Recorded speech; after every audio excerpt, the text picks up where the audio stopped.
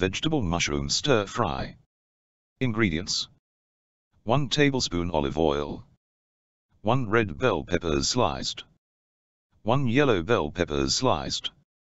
1 cup sugar snap peas. 1 cup carrots sliced.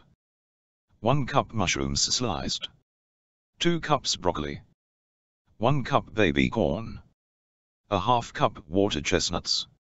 A quarter cup soy sauce. 3 garlic cloves minced. 3 tablespoons brown sugar. 1 teaspoon sesame oil. A half cup chicken broth. 1 tablespoon cornstarch. Chopped green onions and sesame seeds for garnish optional.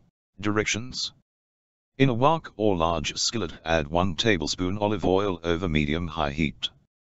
Add bell pepper, peas, carrots, mushrooms, broccoli, baby corn, and water chestnuts. Sauté 2 to 3 minutes until veggies are almost tender. In a small whisk together soy sauce, garlic, brown sugar, sesame oil, chicken broth, and cornstarch. Pour over veggies and cook until the sauce has thickened. Garnish with chopped green onions and sesame seeds if desired.